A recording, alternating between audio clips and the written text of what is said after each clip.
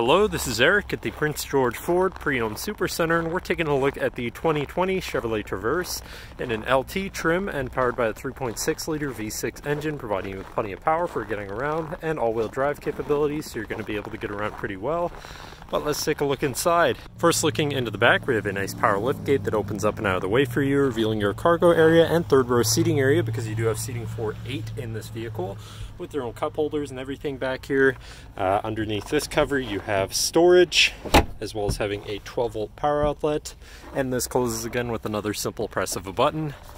Then looking into the second row you have seating for three as well as having rear climate controls and two USBs. And this vehicle has a remote start, so no need to go outside to warm up your SUV. Looking in, you have power windows, power mirrors, and power locks, as well as a fully power adjustable driver seat. Now sitting in the vehicle with it running, you can see it's sitting at 32,089 kilometers. And moving down to the steering wheel, on the right hand side, you have your hands-free phone controls, as well as your controls for your center info screen, where you can cycle through your digital speedometer. Um, as well. Well, that's your home screen actually, and then you have information, so you can cycle through your speedometer, uh, your trip mileage, and information.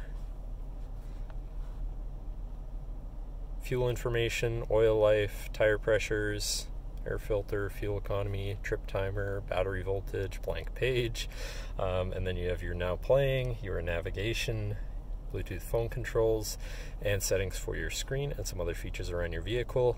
But then moving on to the left, you have your cruise controls, as well as having your radio controls on the backside of the steering wheel. But then moving on to your center, your infotainment screen, which is radio. Sirius and Bluetooth capable, so you have some options there. You have your Bluetooth phone controls, your nav, and shifting into reverse. You have a backup camera so you can see where you're going.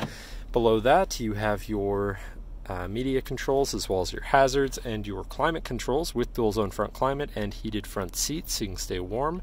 Below that you have this cubby area with a 12 volt, two USBs and auxiliary so you can plug something into power or charge or hook up your audio.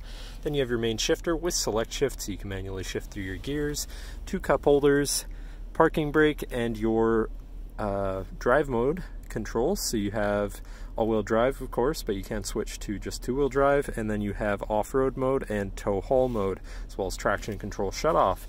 And then you have your center compartment slash armrest with a removable tray, ton of room inside for all of your stuff, but that should cover our look at the interior. So now if you're interested, come visit us at Prince George Ford, pgford.ca, or call 250-563-8111 and have a nice day.